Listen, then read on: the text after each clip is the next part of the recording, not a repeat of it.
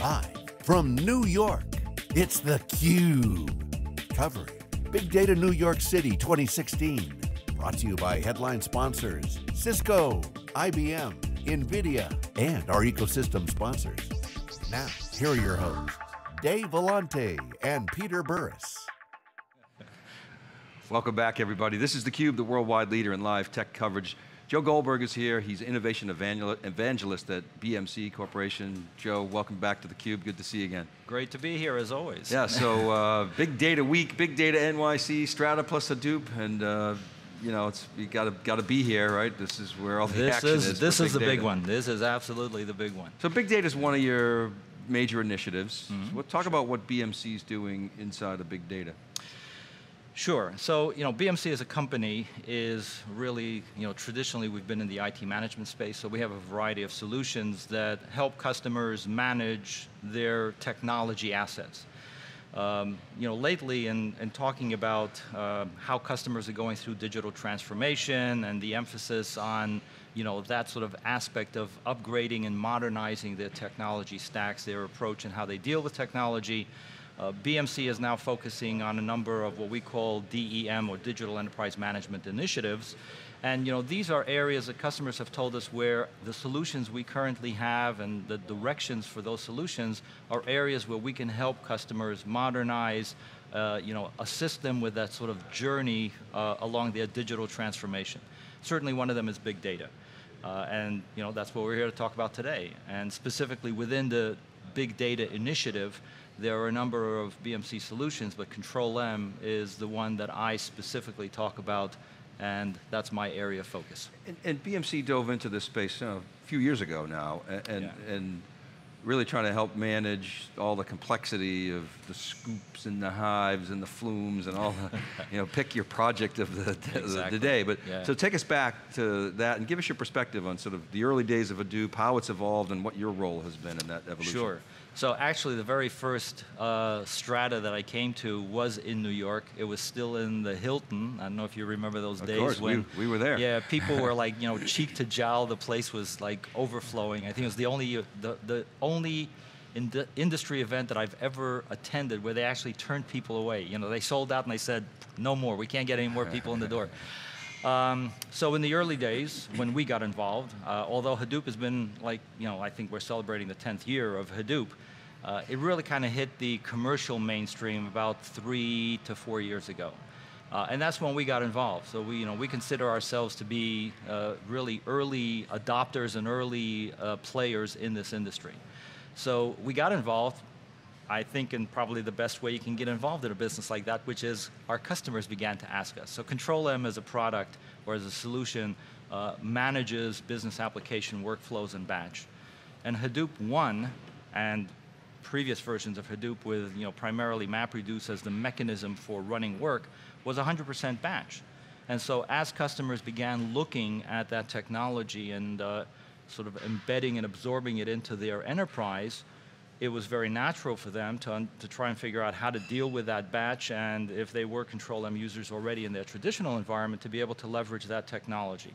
So that's how we got into the business. We really, you know, we were introduced to it by our customers when we began to learn about it, we saw this was an amazing opportunity, um, and so that's how we started.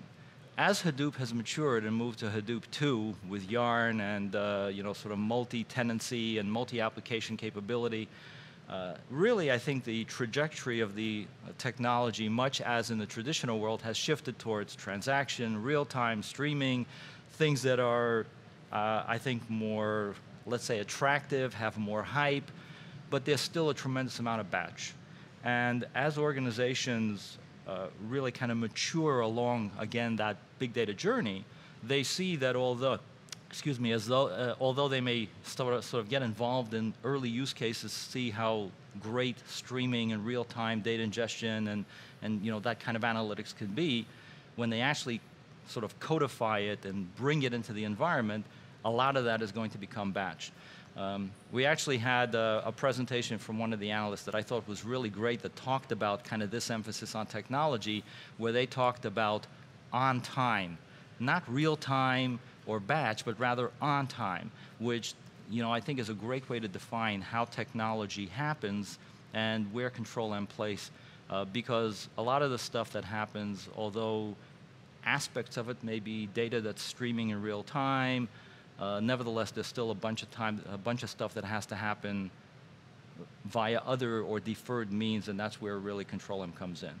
Um, of course, what we bring into to this from uh, that distinguishes us from what is in the ecosystem already is the fact that we're coming at this from the enterprise. So we already support all of the traditional technologies, all of the traditional applications like ERPs and relational databases. And so we bring all of that maturity that we have been developing over years and years and have applied that to big data and Hadoop. Okay, so uh, interesting. On time. On time is like before you lose the customer, right? And it may not be real time, but exactly. You know, sure. Good, you know, good enough. Um, okay, and then Spark. So you, you you you enter when there's this, and there's still this collection of you know, mm -hmm. uh, tools um, and projects, and then Spark comes in. How has Spark sort of changed the business, and what has it meant to BMC? Uh, so we've added support for Spark as well. Um, and again, I think Spark is a really good indication of the kind of sort of the dichotomy of processing that I'm talking about. Mm. There is a lot of you know Spark streaming that's real-time stuff, but a lot of it winds up getting deferred some way. Or you know you may do a lot of development for your insights that you iterate in real time, but eventually when you want to deliver that to, let's say, business consumers or even data scientists, they don't necessarily want to be able to run all of this in real time all the time, and so some of it becomes batch. Um, so we were very early in providing support for Spark, and so Control M does support Spark, both Spark SQL and Spark Streaming. Um, I think we were actually providing support for it before the uh, community or the open source ecosystem tool provided support for it. So, uh, you know, that's been one of our goals is to at least match, and we've actually been outpacing the innovation in our particular discipline uh, in, the, in the open source tools that are available in the market. Um, but you know, we, we, see this really as kind of an evolution. Uh, there's just richer tools, more powerful tools, uh, I, and I think it's kind of interesting. The tools are kind of matching the trajectory of data and volume. so as people are dealing with more and more data, their tools are improving, but I think that the general balance is very similar still in terms of you know, the, the business challenges and then being use case driven. Uh, I think one of the things that's most interesting, inter interesting that I have seen uh, is that there's a tremendous amount of hype, uh, certainly mind share around insight and new data sources, uh, you know, a lot of new things that are being discussed in the big data space, but sort of on the ground, a lot of companies, certainly enterprises or traditional enterprises, are taking advantage of big data technology to really kind of modernize their existing sort of data management and data infrastructure. And so we're seeing a lot of activity rather than you know trying to pull in social media and, and machine data that they haven't processed before, a lot of companies are just simply trying to sort of expand the aperture of their current data warehouse and data management infrastructure by using Hadoop and, and big data technologies. And so it's kind of somewhat evolutionary and shockingly, a lot of this is driven by cost. Yeah, of course. Right. Well, uh, so, but let, us talk about it. Let me build upon that for a second.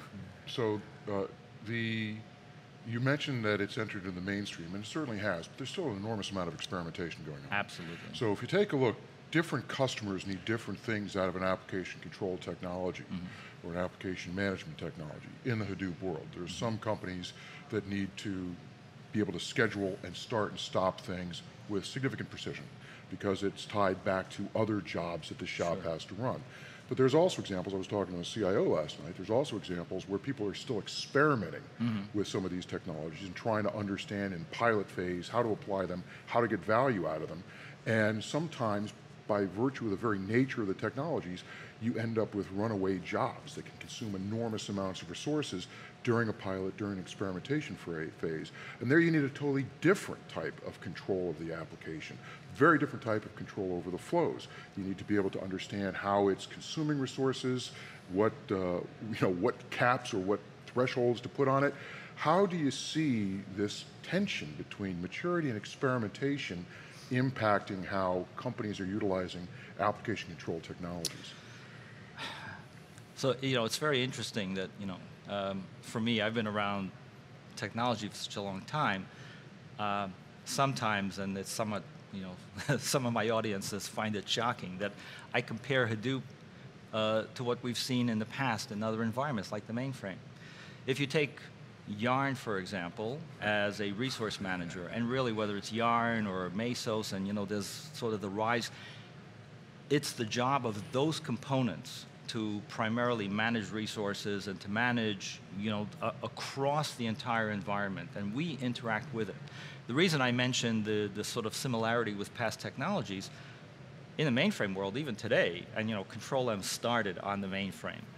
Uh, there's a component called WLA, which is workload you know, it's a, I mean, WLM, right, workload manager, whose job it is to manage how much memory, how you fence off resources for more critical jobs based on priorities, and you know, there's a job entry subsystem. We interface with that. So we manage at the business level, and we provide controls that really can kind of map to those resources and the, the tension that you describe, and we do that on the basis of SLAs or you know, what are the business goals that you're trying to achieve. What kind of concurrency do you want to be able to achieve? What application is more important than the other? How do you want to be able to you know, determine either success or failure? How do you want to do predictive, uh, sort of predictive warning and alerting based on how things are running? And we are relying on the underlying technology that actually have you know, management over the resources to give us information about what's going on. So we provide this kind of layer at a business and a control level that can interact with those, but we don't actually I was going to say we don't have to, and that's really kind of the benefit. We don't have to get to, into the, the details of having to manage that. But you do have to turn the data that's coming out of those other subsystems into something that makes sense to a business. So for example, the CEO I was talking last night uh, was shocked when a couple months ago she received a $75,000 bill for an experiment. Yeah. And that while, while at the resource level, they had all kinds of yeah. results that they could go back and figure out why it happened, what she had hoped for is that she could actually put a policy on the whole job and say, at this point in time, stop this. Yeah. And so it's, there's a lot of that going on as yes. people try to learn about these technologies. And, and you know, the, the thing is, so th that's, that's another great example that we actually have a component or a set of functions in our, in our product called workload policy, where you can set uh, you know, these kinds of thresholds and limits and determine how resources should be you know, applied based on business priorities. And all of that is you know, because the same kinds of requirements that you're describing have existed in the past in the traditional world. So this is kind of you know, the mantra that we keep repeating that yes, it's a brand new world and this is radically new technology, but a lot of the sort of management principles are very, very similar. And so that's kind of our benefit. We have been working on this, we've been providing it, we've been maturing our capabilities to manage within that kind of world for such a long time. And when we provide support for a new technology like Yarn or Hadoop, all of the work that we have done over all of those years can be applied. And you know, so we, we as a, uh, as a solution also have this constant sort of tension of, you know, how do we deal, what are the differences in this new environment? Well, how do we have to manage or how do we have to evolve our solution to make sure that we can take advantage of it? So, you know, we can't just simply say, well, you know, we've done this in the past, so we don't have to do anything for Hadoop.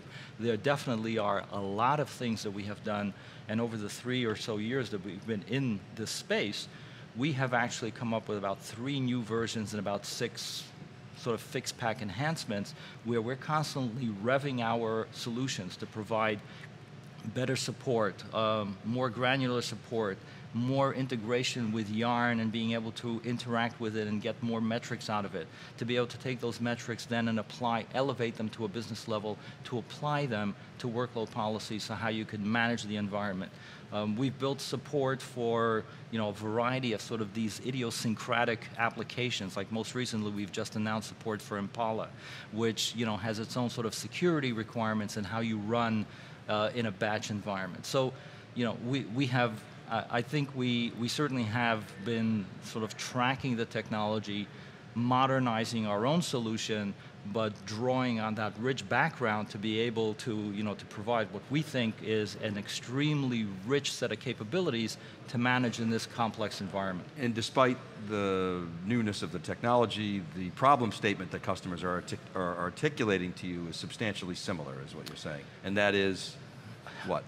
Well, it's the need to be able to ultimately meet their business goals. Yeah? So to be able to, to abstract the technology to a business level. You know, obviously there are people that are working with, you know, running a particular task or a process or a job, but ultimately the business needs work done. They have business priorities. They need to be able to, as, as early as possible, identify potential problems. They need to be able to, you know, shift priorities and, and ensure that resources are available for the, the work that's more important. Uh, you know, get the work done. That, that ultimately is, is what they need and to be able to have all of the, or as much insight without requiring deep technical knowledge. So, you know, the, those, those are among the tense, or the, the, the, tensions that we have to try and manage uh, to be able to provide enough you know, granular capability to technicians to, to do the work they need to do, but to be able to elevate and abstract that uh, to business or non-technical users or people who don't want to become experts in managing technology but just want to be able to reap the benefits of the results. Okay, good. Um, we're out of time, Joe, but give you the last word. You know, put a bumper sticker on the segment. Gee, I haven't thought about that. Um,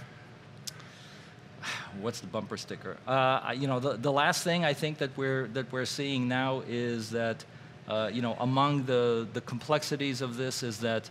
Uh, organizations not only need to be able to, to achieve this kind of level of, of management and automation, but they have to be able to do this in sort of a, an end-to-end -end software development lifecycle manner. And you know, a, a, variety of the things that we've been uh, developing is enabling uh, the consumption of our technology, which you know in the past has been kind of traditional IT ops GUI oriented by developers and DevOps and continuous integration, continuous development teams. Again, to be able to achieve that level of business agility, to be able to manage their batch and their, you know, their workflows across a very complex and ever increasingly heterogeneous environment. That's a hell of a bumper sticker. Including the cloud, which we didn't talk about. Well, that's, that's, and that's, that's, that, that's why I said excessively heterogeneous, because yeah. you know, now, nowadays it's like, you know, public and private, multiple vendors. So what used to be heterogeneous was like, you know, mainframe and Linux and Windows. Now it's Google Cloud and then AWS and you know, OpenStack and internal stuff, as well as all the other stuff, and all the virtualization and everything. Can, so, I, take, can I take a crack at it? Sure. The more deeply you embed technology in the business, the more you need business control over technology. Wow, I wish I had said that. Thank you very much. Excellent. All right, we'll leave it there. Joe Goldberg, thanks very much for coming on theCUBE. Thank uh, you, thanks for having me. Keep right there, everybody. We'll be back with our next guest. This is theCUBE, we're live from NYC. Right back.